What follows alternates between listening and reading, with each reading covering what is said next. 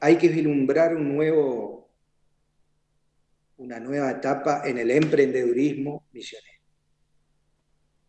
Diré el término duro del darwinismo, pero es, es la evolución natural. La supervivencia del más apto es una realidad muy dolorosa, pero va a ocurrir. Entonces, este, hay que acompañar el proceso de incubar un nuevo emprendedurismo post pandemia. Sin descuidar a los que están, por supuesto, los que están, hay que acompañarlos y esto es muy importante.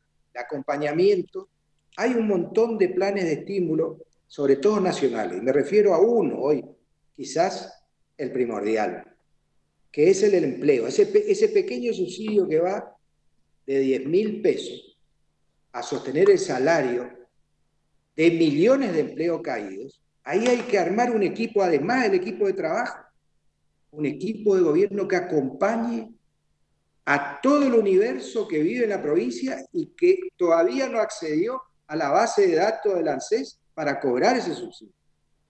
Por favor, eso es urgente. Ya pasó más de un mes de la pandemia y la gente tiene que cobrar a fin de mes.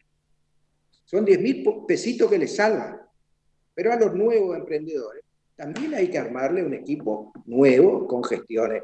Este, todas van a necesitar de lo que se llama la, la economía del conocimiento.